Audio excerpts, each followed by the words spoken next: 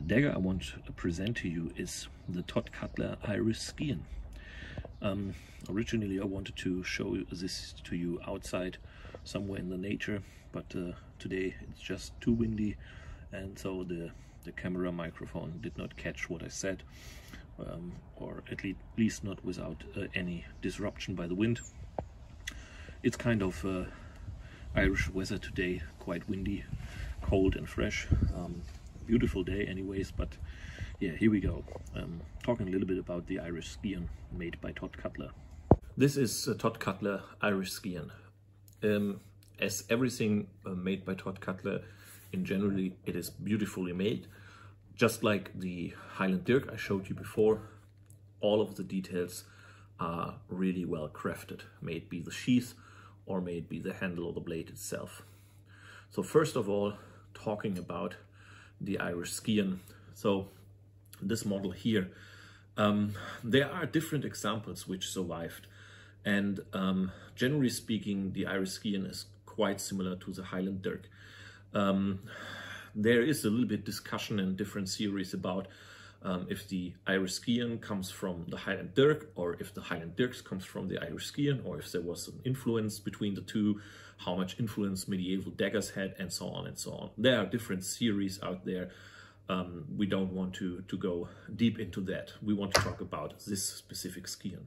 Um, Todd Cutler um, made it similar to the Highland Dirk I showed you before with a light wooden grip. Um, but you can see difference here in the shape of the grip, uh, a brass pommel and a brass slide like a disc guard. Also difference here is the scian which was available was only the semi-sharp, so this is not sharp at all, it is very pointy, but this is semi-sharp, so like 0.5 millimeters or something like that. Um, you can sharpen it. I think it's a pity that um, when you go into the shop that you don't have the possibility to take a semi-sharp and you know pay like a little bit more and say okay let's sharpen it and I wait maybe like one or two weeks for it so sharp wasn't available so I took the semi-sharp or you could say blunt one uh, no problem at all um, I can get that sharpened elsewhere um, and also uh, besides that the blade is simpler than the one of the Highland Dirk, which I showed you before. But it is very much as the old ones which survived uh, in Ireland uh, looked like. A very slender, um, pointy, kind of triangular blade um, with a very uh, with a very thick back here. Okay, so it's very sturdy. It's as a dirk, mainly a thrusting or stabbing weapon um, you can of course cut with it as well, but the the greatest power comes from the thrust.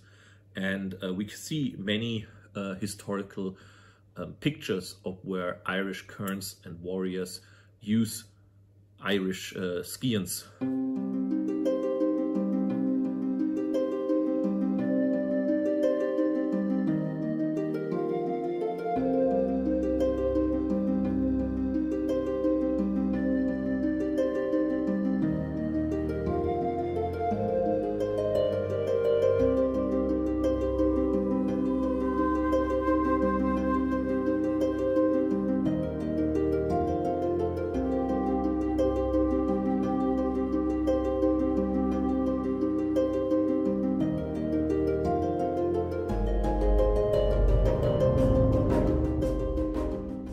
scians. just like with the Highland Dirk, you can see the mark here uh, of Tod Cutler, uh, which looks, again, very beautiful.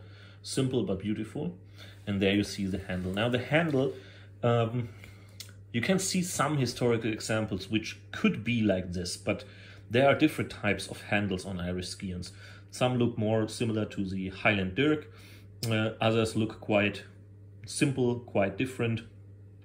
This one, um, I think I saw one or two examples on pictures which look kind of similar and you could say maybe there is this brass reinforcement and this kind of disc shape um, brass guard and the round simple brass pommel. But I don't think that this one is based on a particular one, but just inspired by different historical ones which survived and also by the different pictures we have. I also like the sheath. The sheath is um, not as decorated as the one on the Highland Dirk, but it has some, you know, reinforcements here. It's beautifully stitched. And what it has is already a loop to carry it in your belt. When you look on details of historical pictures, then you can see that they carried this with simple loops. So this is already quite uh, nice. Would be cool if that would be also offered on the sheath of the Highland Dirk. You can, you know, make a tie uh, or a knot yourself, but uh, this is already a good belt loop for a solid carry. It has no brass um, down here, so it has a simple leather sheath.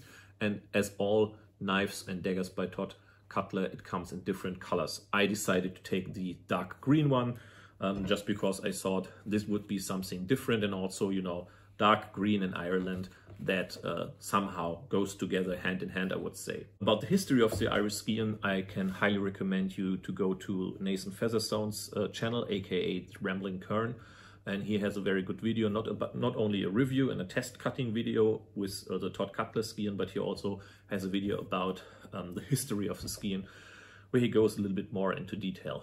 Um, generally speaking, um, there are three types of uh, Irish Scians, shorter ones, medium-sized ones, so like this one, like Highland Dirk, so long, slender, dagger-like um, Scian, and there are also much longer ones which you could count more as short swords.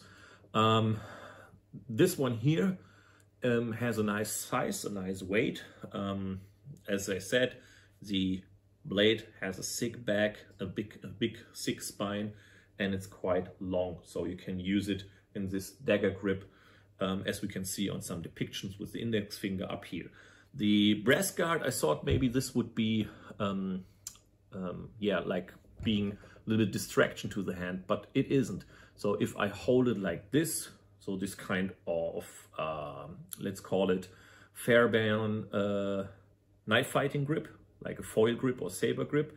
If you hold it on the big spine with thumb and the saber grip, if you hold it in the ice pick grip, even then, I mean, it, it cuts a little bit into your palm, but it is it is edgy, but not not uh, hurtful edgy. Okay, so this, this feels quite comfortable.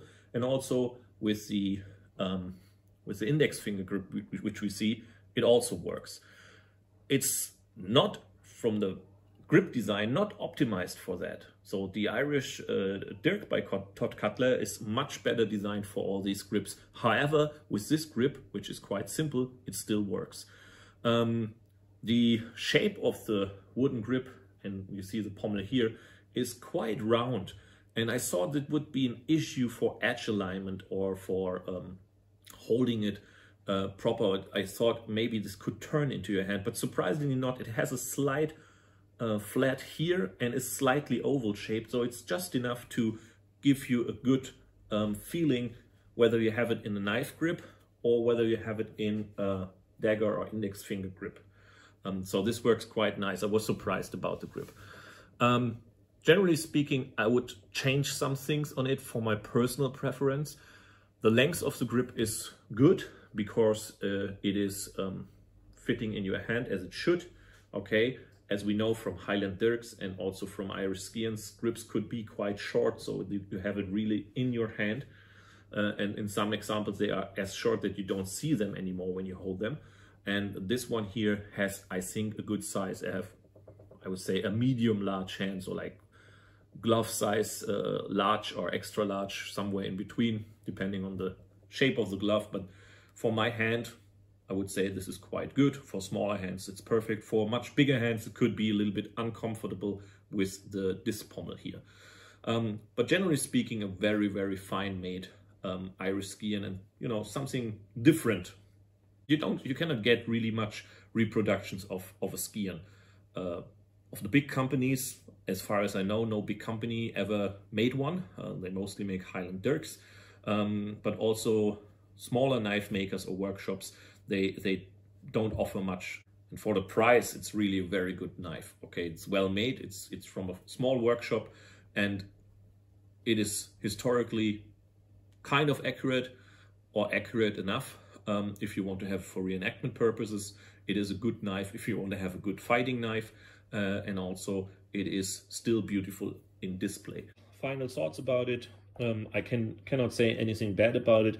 The, the blade the blade is perfect, or I would say the blade is really really great. Handle could be improved in some ways.